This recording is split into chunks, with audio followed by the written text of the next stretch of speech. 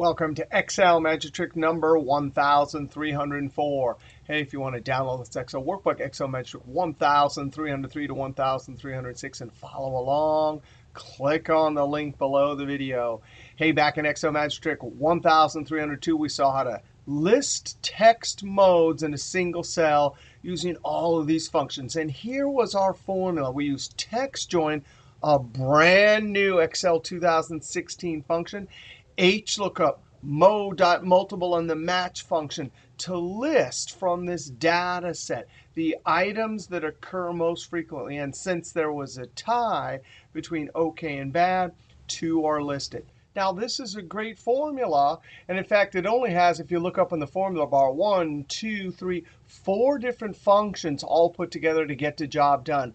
But as we saw last video, those curly brackets mean that we had to enter this formula with a special keystroke, Control-Shift-Enter. So we want to see how to create a formula that will do the same thing, but this formula will not require Control-Shift-Enter. And at the formula's heart will be this amazing formula construction. We'll use the n function, the if function, a true or a 1 for true, and the array. Now, the array part of this is what we used last time, mode and match. And I'm actually going to copy this because that is the part that's going to give index function trouble. Now, I have never seen this amazing construction. And luckily, we hang out on an awesome Excel online team. Bill Szysz and XLarium posted a comment below Excel Magic 1302 about this formula. And XLarium posted this link about this amazing blog that talks about this formula element. Now, this formula element, n, if, true or 1, and the array allows us to get a function to return multiple items that would not ordinarily return multiple items, such as index and VLOOKUP when you try to do a function argument array operation in the lookup value. Now, we're going to see an example of the index function in this video. Now, remember, our goal is to get OK, which is in the 1, 2, third position, and bad, which is in the fifth position. So if we remind ourselves equals, and I'm going to control V because I have the mo.multiple match construction. Remember, F9, that gives us the relative position of the two items we want. Control Z. So what we would like to do is simply use the lookup function index. And in the array, I'm going to highlight the entire list, Control Shift down or Control backspace. There's the array, comma, and there are the row numbers, 3 and 5. But index just flat out has trouble with this. If I highlight this in F9, oh, it's only delivering the first item. And that's what this blog says. That's normally what happens when we try to get index to deliver multiple items. Control Z. Well, we have two functions we're going to have to use, n and if. Now, n is well known for doing things like dereferencing arrays that don't work inside of subtotal function.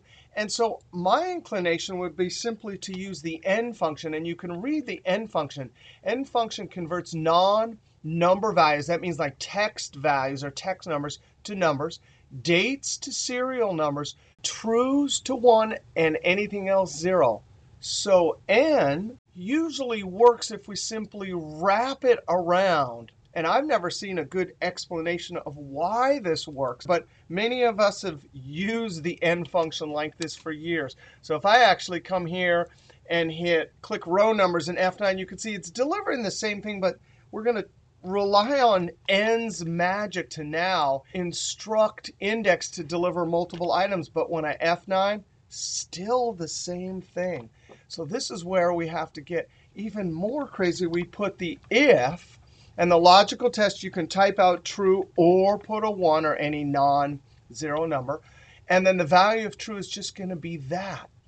And so after the mode.mult, I close parentheses on the if.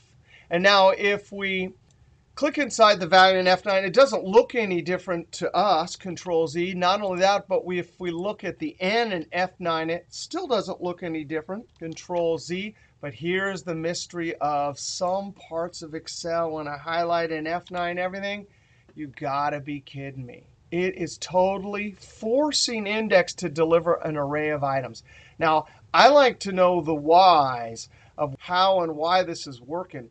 But I- messed around with it. I read this article. I did some research. I can't figure out the whys. If anyone knows the whys, please post in the comment section. But for now, we're just going to leave this little construction here as flat out magic or as this blog article says, tautological magic. And so now we are ready. We have our array of OK and bad. So I put it inside of text join. The delimiter, double quotes, comma, space, double quotes, comma. I want true for ignore empty cells or leave it omitted and it will assume true. So I put a comma and I come to the end, close parentheses. And now I don't have to use Control Shift Enter. That is working.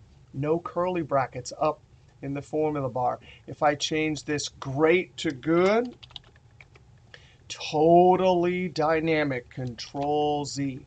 All right, so I love hanging out on our online Excel team. Thanks to Bill Szysz, XLarium, and this amazing blog here. Hey, next couple videos, we're going to try some other tricks with this N if one and array. All right, we'll see you next video.